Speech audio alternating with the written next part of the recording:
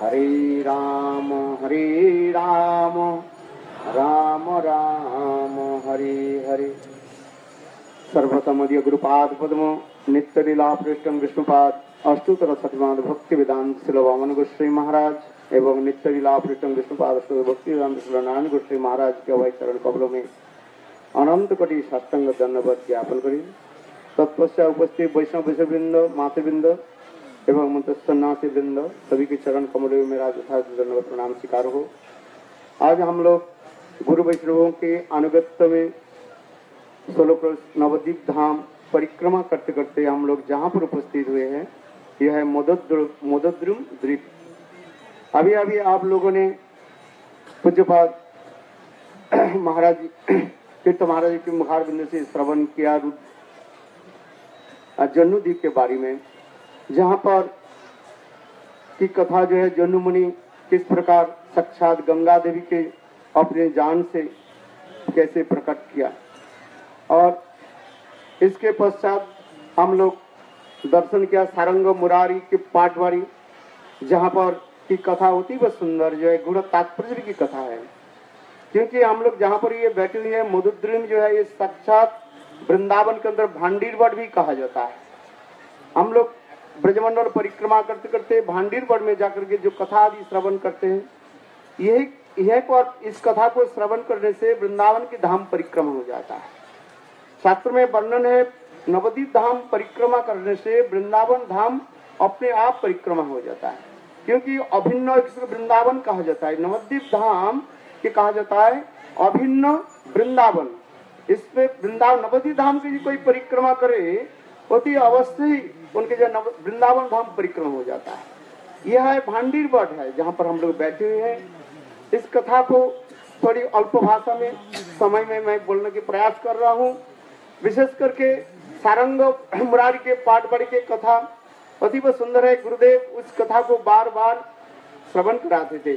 और इस कथा, इस स्थान को कथा करके गुरुदेव कभी कभी तो आँखों से आँसू की धारा प्रवाहित करते थे। सारंग मुरारी, सारंग जो है चैतन्य महाप्रभु के नित्य परिकर थे और बहुत भजन आदि करते वृद्ध अवस्था हो गया। अकेला चल नहीं पाते थे, तब जी ठाकुर जी के पूजा आदि भी करते थे। एक दिन चैतन्य महाप्रभु बोले, सारंग, तुम एक शिष्य करो और उस कम से कम तो शिष्य तुम्हारी कुछ तो सेवा आदि करेंगे। सारंग बोले, प्रभु कलिकाल में तो शिष्य मिलना बहुत कठिन है। मेरे गुरुदेव श्री बावन को श्री महाराज एक बात कहते थे, गुरु मेला भार, गुरु में गुरु में, गुरु मेले लाख लाख शिष्य मेला भार, और शिष्य मेले लाख लाख गुरु मेला भार। ये बंगला प्यार की गुरुदेव इस प्रकार की कह देते, कलयुग में हो सकता है अनेक गुरु प्राप्त हो जाए। गुरु मिल जाए, सदगुरु मिल जाए, किंतु सत शिष्य प्राप्ति करना वो भी बहुत कठिन है। और सत शिष्य भी बहुत मिल जाए किंतु सदगुरु भी प्राप्ति भी बहुत कठिन है। इसलिए हमारे गुरुदेव श्री श्री महाराज कभी की इस कथा को जो है बार बार सुनाते थे तो उसी प्रकार सारंग भी सारंग भी कहने लगे ये कलिकाल में कहा शिष्य मिले, किसको मैं शिष्य करूँ? शिष्य की तात्पर्य है, गुरु के जो शासन वाक्य के जो मान ले धातु से शासन वाक्य का शिष्य शब्द निष्पन्न होता है। किंतु कलिकाल में कौन शासन वाक्य माने? इसलिए कारण नहीं, मुझे शिष्य करना नहीं चाहिए। इसलिए सनातन गोस्वामी पाद भी भी लिख दिया बहुत शिष्य कभी कभू ना करीबे बहुत शास्त्र कलाभ्यास न करीबे। अधिक शिष्य भी करना नहीं चाहिए, अधिक शास्त्र भी अध्ययन करना नहीं चाहिए। इसलिए सारंग मुराद तो बार बार सारंग कहने लगे, मुझे शिष्य करना किंतु महाप्रभु कहने लगे, सारंग, तुम वृद्ध हो गया, कम से कम एक तो शिष्य करो। बोले, किसको शिष्य करो? बोले, काल गंगा के स्नान में जाओगे, प्रातः काल में जिसको देखोगे, उसको तुम मंत्र दे देना। और प्रातः महाप्रभु के इच्छा के अनुसार ये सारंग, ये पर निकट में गंगा देवी प्रवाहित हो रहे बात बिल्कुल जो है हंड्रेड मीटर होगा, ये पर गंगा देवी जो है प्रवाहित हो रहे हैं। और उसमें उन्होंने प्रातः काल में जब स्नान करने के लिए गए स्नान करके जब उठा, देखा क्या, एक मुर्दा जो है पानी में प्रवाहित हो रहे और मुर्दा को देख करके उन्होंने की मुर्दा की पेट पकड़ लिया। और लेकिन उसमें कृष्ण मंत्र, गोपाल मंत्र दे दिया। मंत्र देने की साथ ही साथ वो जीवित हो गया और खड़े हो गए और फिर अपने साथ में लाए। और चारी तरफ़, इस गाँव में चारी तरफ़ हल्ला हो गया। ये सारंग एक मुर्दा की जो जीवित कर दिया। और उससे बात यह था, वो बालक के नाम था मुरारी। उसको सांप काट दिया था। दो तीन दिन हो गया, सांप काट दिया था। सांप काटने से जलाया नहीं जाता है। उसके पानी में प्रवाहित करना चाह, होना चाहिए था। इसलिए उनके माता पिता ने किया कि सारंग की जो है, इस गंगा में प्रवाहित कर दिया।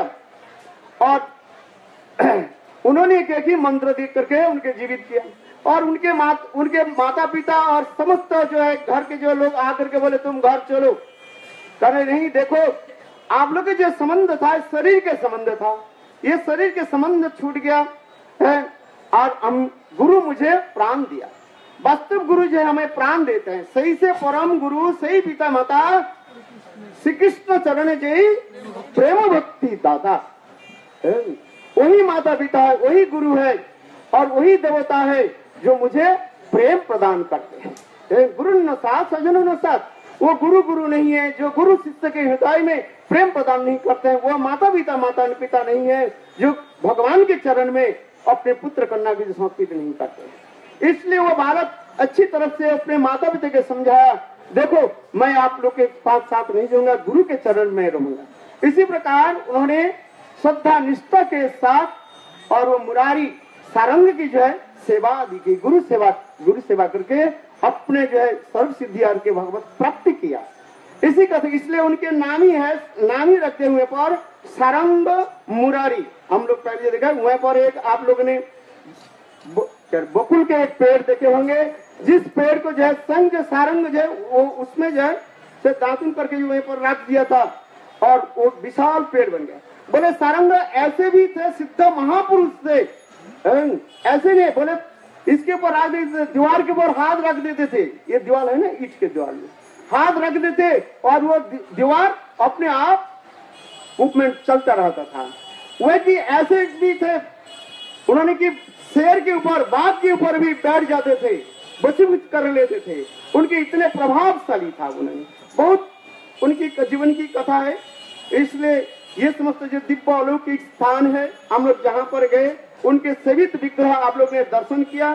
चैतन्य महाप्रभु की भी सेवा आदि करते थे, और विग्रह है राधा गोपीनाथ और राधा मदन मोहन विग्रह आप लोग ने दर्शन किया।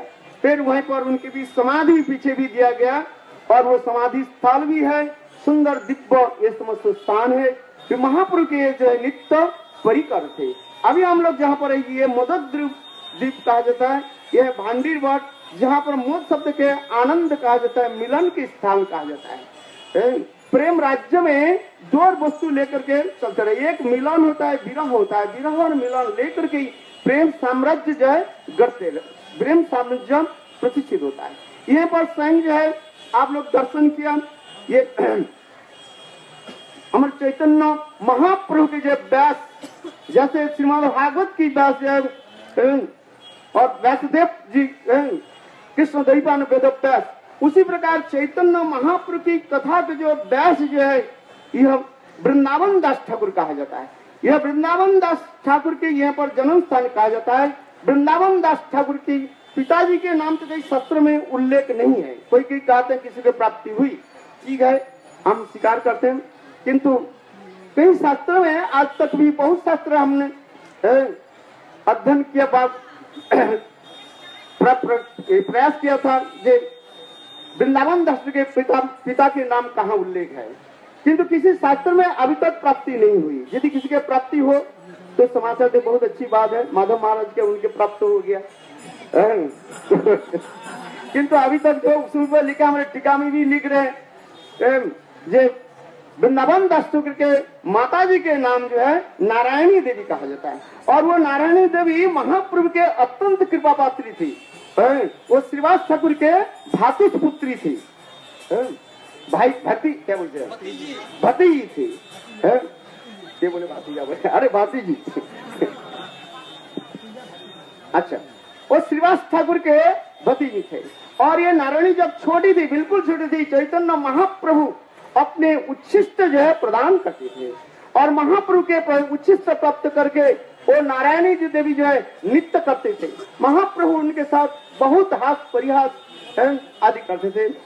और दूसरी बात जो है, नारायणी जो है, जब छोटी सी नित्य प्रथा गंगा से पानी लेकर के महाप्रभु के सेवा में लगाते थे।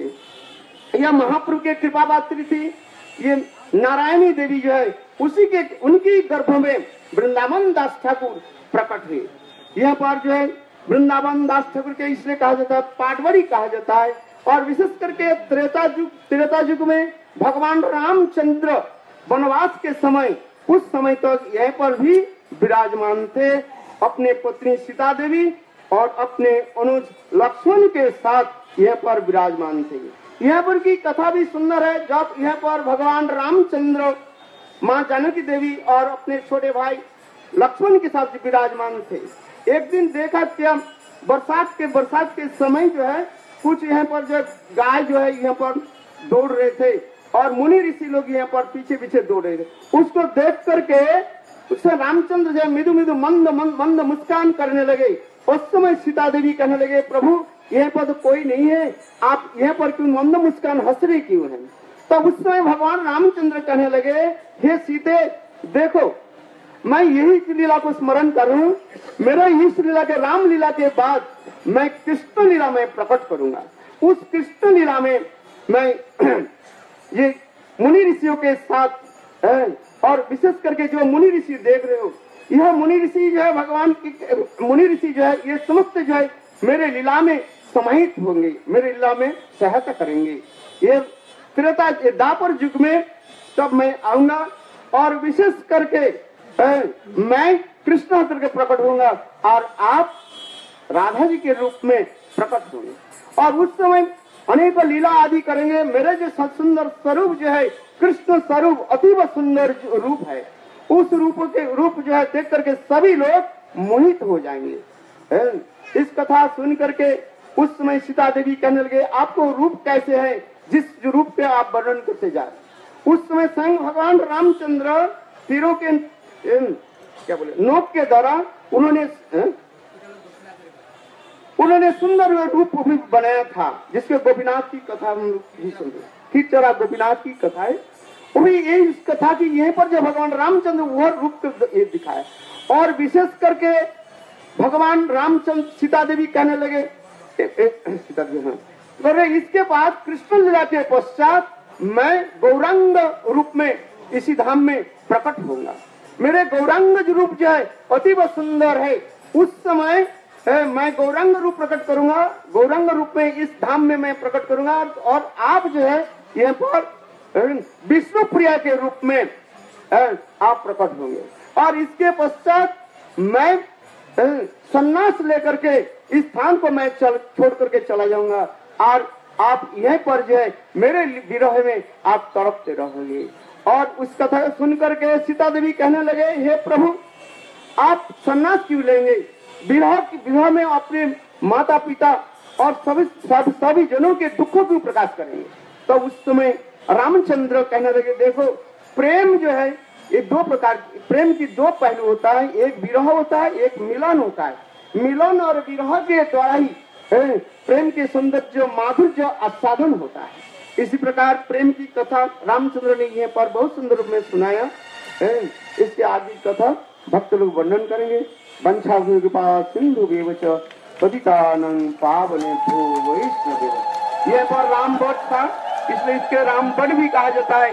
रामचंद्र की जब यहाँ पर आए थे, यह पर भी एक विशाल बट था, इसलिए यह पर राम बट भी कहा जाता है। जैसे हम वृंदावन में भंडीर बट यहाँ पर राम भट्ट की कथा भी सच में उल्लेख है। बड़ भगवान, रामचंद्र की सचिनंदन गौर हरी की बोलो गुहा चंडाल की जो रामलीला में गुहा चंडाल से यहाँ पर सदानंद होकर के यहाँ पर प्रकट हुए।